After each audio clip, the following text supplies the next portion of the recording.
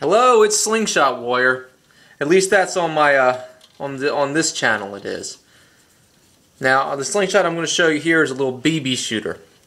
I call it my BB shooter. It has um well, as you can see, well it has Cryptor 27 on it. Well, that's my handle on the slingshot forum and my main channel.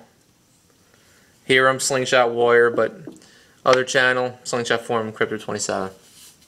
It's a schematic. This is a little BB shooter. It shoots. Uh, I like to shoot it with um, basically um, airsoft BBs. Now this is very good if you don't have a lot of space and you want to practice during the winter time.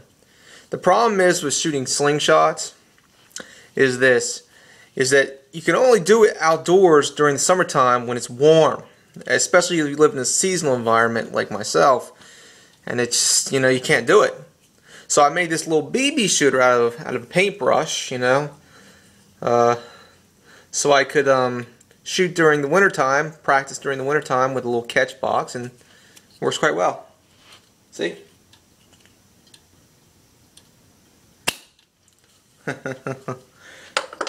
this one is, well, a little more heavier slingshot.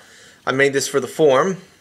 I call it the wishbone because it looks like a wishbone as you can see. This one is a has a thumb and forefinger grip, sturdier than it looks. As you can see, shot at a 35 degree angle, and that's it. Now I'll be doing so. I'll for this one I won't be doing any shooting videos, but for this one I will. But you have to have a cameraman for that, even indoors, because well, I have no place to hold the the uh, iPod.